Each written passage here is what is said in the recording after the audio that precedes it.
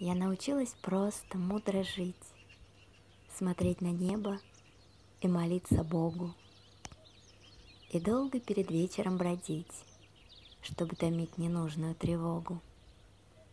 Когда шумят во враге лопухи, И никнет гроздь рябины ярко-красной, Слагаю я веселые стихи О жизни тленной, тленной и прекрасной.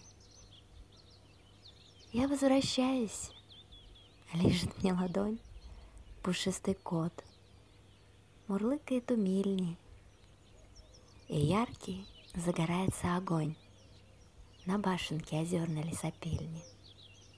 Лишь изредка прорезывает тишь крикаиста, взлетевшего на крышу.